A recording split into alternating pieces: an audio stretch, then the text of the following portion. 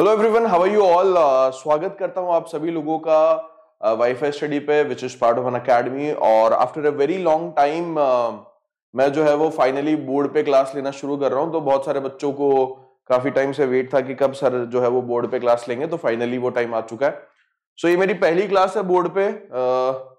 मार्च uh, से पहले I believe कि मैंने मेरी पहली क्लास मैंने बोर्ड पे पढ़ाया होगा। मार्च जब कोरोना लगा तो मार्च से लेकर के ये जो है वो जनवरी आ चुका पूरा साल खत्म हो गया 2020 वाला, बोर्ड पे क्लासेस नहीं ली। अब फाइनली जो है वो बोर्ड पे क्लास लेना शुरू कर रहे हैं तो I am very excited about it and I hope जो मेरे सारे स्टूडेंट्स हैं वो भी काफ़ी एक्साइटेड होंगे, क्योंकि उनको पता है कि मुझे बोर्ड पे पढ़ाने का एक अलग ही मज़ा है और वो मैं उसे बहुत एंजॉय करता हूँ, उसको पढ़ाना, ठीक है?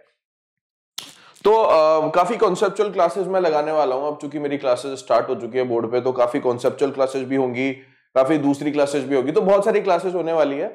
So be ready for it और uh, फ़िलहाल जो है ये हमारा वन वर्ड और ईडियम का सेशन जो है ये रोज सुबह साढ़े छह बजे आप लोग कंटिन्यू करें। तीन मेरे सेशन होंगे मैं आप सभी लोगों को बता देता हूँ। सिक्स थर्टी ए एम ये आपके वन वर्ड और ईडियम का सेशन होगा। सात बजे हम तो हमारे मॉर्निंग मॉर्निंग पर्सन है भैया।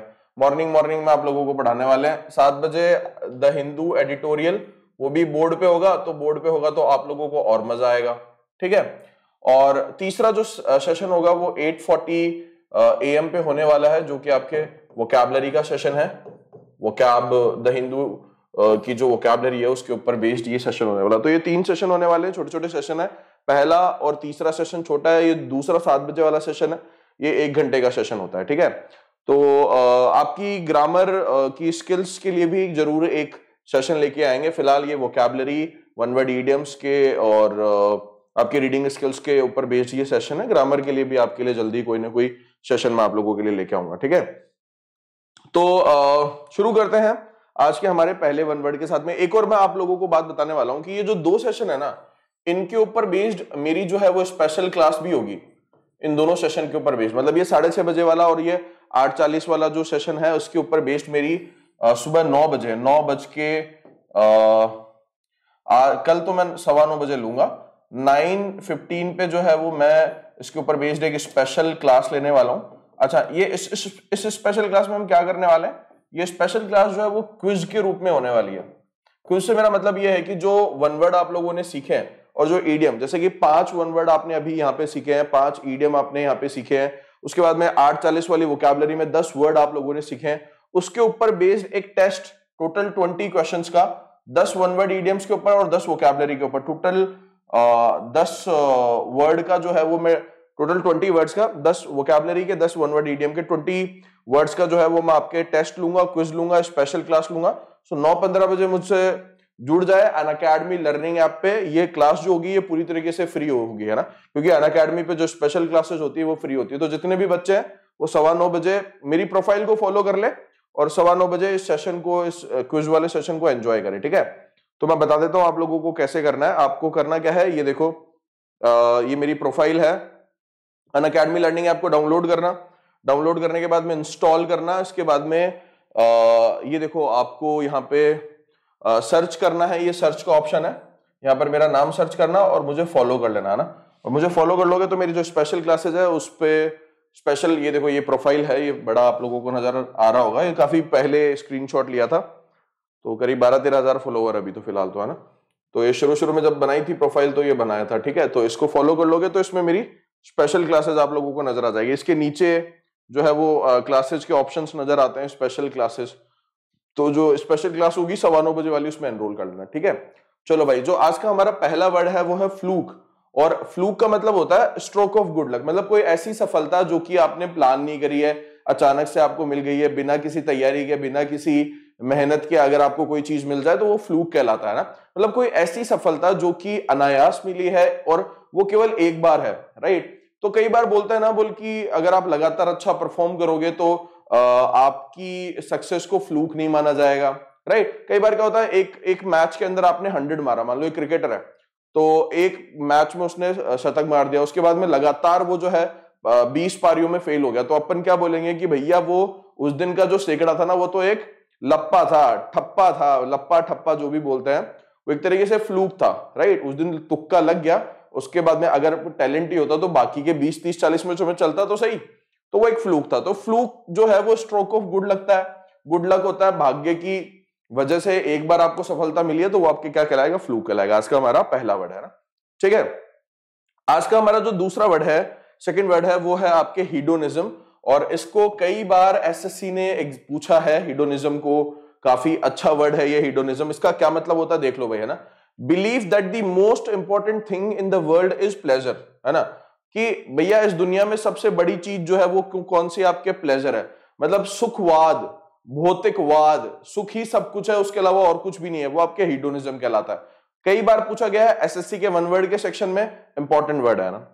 तीसरा आज का हमारा जो वर्ड है, वो इधर देखो, यहाँ पे वो है हेंचमैन और हेंचमैन आपके होते हैं discount discount discount shooter shooter बोल लो, वफादार सेवक बोल लो हेंचमैन ज़्यादातर इस वर्ड को मैंने मूवीज़ के अंदर देखा है कि एक गैंगस्टर होता है और उसके जो गुर्गे होते हैं, जो मारने का, उसके लिए कुछ भी करने का, मारने काटने का काम करते हैं, वो हेंचमैन कहलाते हैं, ठीक है? सो फेथफुल सपोर्टर है वो आपके हेंचमैन कहलाते हैं। ये इमेज से भी आपको समझ में आ जाएगा कि हेंचमैन कौन होते हैं सब आपके। एक व्यक्ति के लिए, व्यक्ति के वफादार गुर्गे जो उसके लिए काम करते हैं हेंचमैन कहलाते हैं ना? उसके लिए किसी का मर्डर भी कर सकते हैं। तीसरा वर्ड आसान वर्ड है ना? चौथे वर्ड की तरफ़ मूव करते हैं फटाफट से। आज का हमारा जो चौथा वर्ड है, वो मीटियोरोलॉजी है। और ये मौसम विज्ञान होता है ना? The branch of science concern with the processes and phenomena of the atmosphere specially as a means of means का मतलब यहाँ पे मेथड है as a means of forecasting the weather है ना? तो वेदर को फोरकास्ट करने के लिए जो ब्रांच ऑफ़ साइंस होती है, वो बेसिकली आपके क्या कहलाती है? मीटेरोलॉजी कहलाती है ना? और चौथा वर्ड था, बढ़ते हैं आज के हमारे अंतिम वर्ड की तरफ़, जो कि है डेपोनेंट और इस डेपोनेंट का मतलब क्या होता है? डेपोनेंट का मतलब होता है person who makes a return statement for use in a law court तो जो लॉ कोर्ट जो कोर्ट होती है, उसके अंदर जो रिटर्न स्टेटमेंट देता है वो आपके बेसिकली उसको रिप्रेजेंट करने के लिए हम डेपोनेंट वर्ड का प्रयोग करते हैं ना? प्रयोग में लाने के लिए यूज़ में लाने के लिए जो रिटर्न स्टेटमेंट देता है, वो आपके डेपोनेंट कहलाता है, ठीक है? तो ये हमारे पाँच वर्ड है। अब इनको स्टोर करने के लिए पहला सबसे तरीका, ये पाँच सेंटेंस देखो और इनमें इसको फिल करो भैया, है ना? देखो भाई, अच्छे से, अच्छे अच्छे सेंटेंस है। फ्लूक हिडोनिज्म हैंचमैन मीटियोरोलॉजी और डेपोनेंट देखो भाई, कौन सा वर्ड किसके अंदर सेंटेंस में फिट बैठेगा?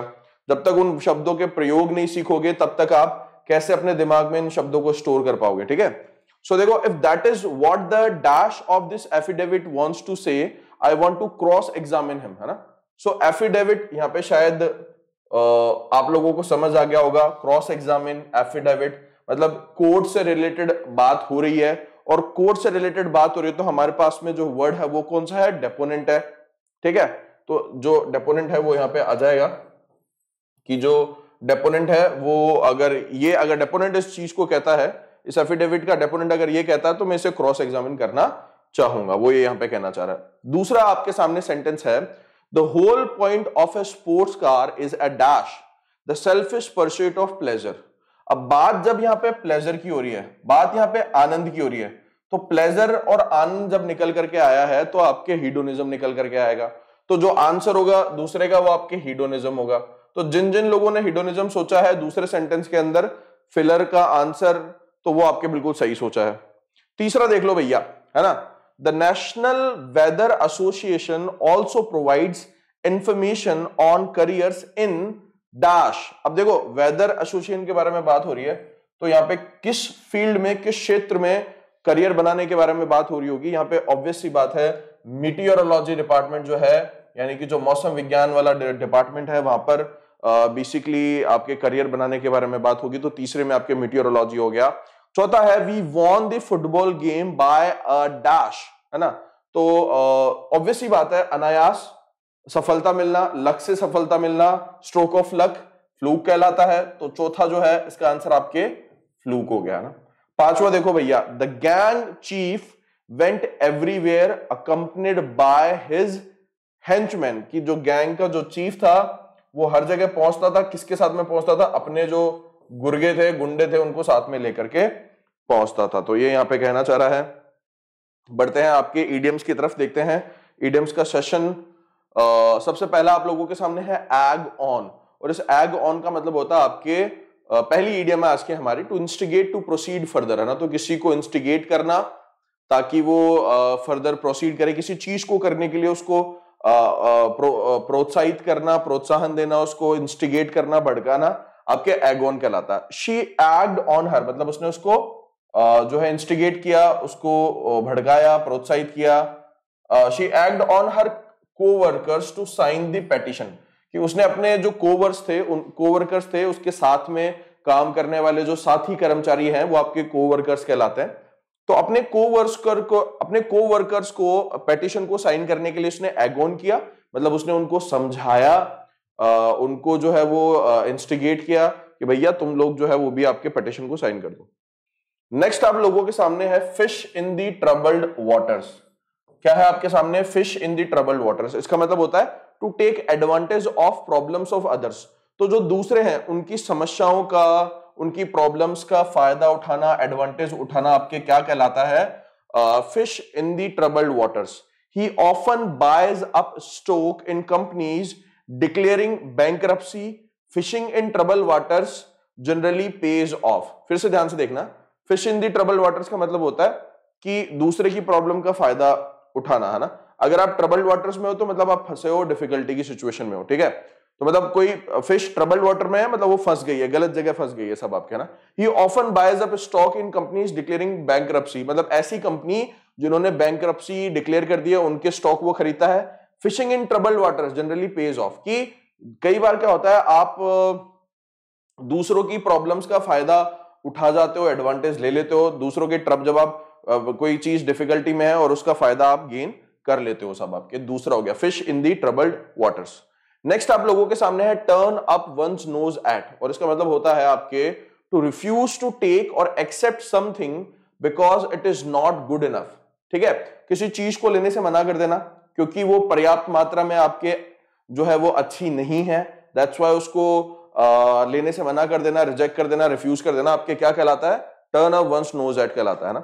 सेंटेंस देखो she turn up her nose at the job because she didn't think it had enough status कि उसने अपनी नोज़ जो है वो आपके टर्न अप कर दी। क्यों कर दी? बिकॉज़ उसको ये लगता था कि इट हैड इनफ इट क्योंकि उसको ये लगता था कि उस उसमें पर्याप्त जो है वो स्टेटस uh, नहीं था। तो इस वजह से उसने उसको मना कर दिया रिफ्यूज कर दिया ठीक है? रिफ्यूजल आपके कहलाता है ना। पार्ट एंड पार्सल का मतलब होता है इनसेपरेबल पार्ट ठीक है? Friend is a part and parcel of one's life है ना?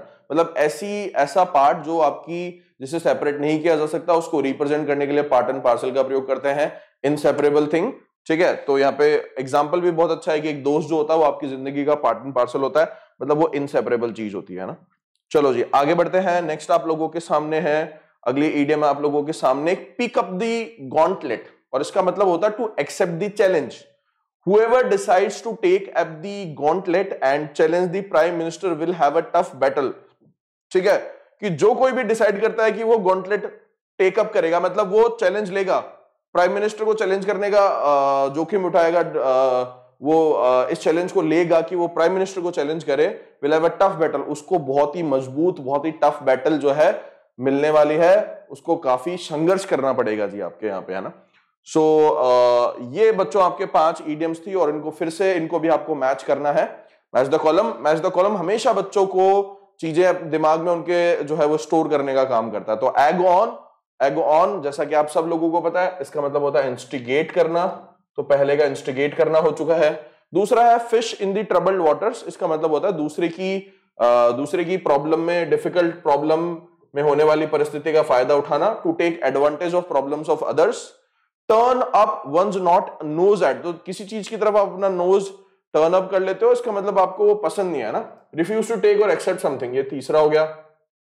चौथा पार्ट एंड पार्सल इसका मतलब होता है इनसेपरेबल पार्ट ये चौथा हो गया और पिकअप दी गॉन्टलेट का मतलब होता है टू एक्सेप्ट दी चैलेंज तो ये पाँच आपके इडियम्स है अपने मैच किए होंगे। तो बच्चों, ध्यान रखना अगर आप में से कोई भी बच्चा इंटरेस्टेड हो, मैं आप लोगों को बता दूँ कि 11 जनवरी से आ, हमारा जो है एक सशक्त बैच स्टार्ट हुआ है और ये जो सशक्त बैच है ये बेसिकली कंप्लीट बैच है एस एस सी सीजीएल और सीएचएसएल के लिए। तो सीजीएल और सीएचएसएल के बच्चे जो कि बड़े डेडिकेटेड बच्चे हैं जो तैयारी करना चाहते हैं सीजीएल की या सीएचएसएल की वो इस सशक्त बैच को ज्वाइन करें।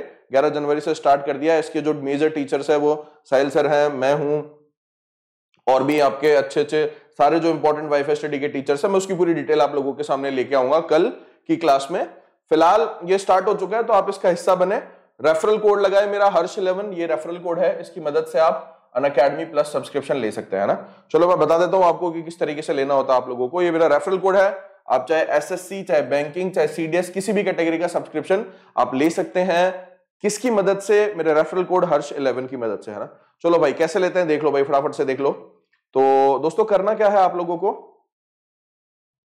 हाँ जी, ये देखो, आपको करना क्या है? आपको Unacademy learning app download करनी है, अपनी कैटेगरी को चूज़ करना है एसएससी एग्ज़ाम इस कैटेगरी को चूज़ करने के बाद में आप लोगों को गेट सब्सक्रिप्शन पे क्लिक करना है। गेट सब्सक्रिप्शन पे क्लिक करने के बाद में आप 12 महीने या 24 महीने में से कोई सा भी प्लान चूज़ करें। 12 महीने का प्लान जो है वो छह हज़ार रुपए का है, ये भी काफ़ी अच्छा प्लान है। और अब ऊपर अगर आप रेफरल कोड लगाते हैं हर्ष इलेवन अप्लाई पे क्लिक करते हैं तो आपको इंस्टेंट टेन परसेंट का डिस्काउंट मिलेगा और आपका अमाउंट जो है वो आपके चौवन सौ में कन्वर्ट हो जाएगा। ये टेन परसेंट लगाया आपने अमाउंट चौवन सौ में कन्वर्ट हो गया। तो उसके बाद में आप credit debit card net banking UPI किसी के थ्रू भी पेमेंट कर सकते हैं दोस्तों ठीक है?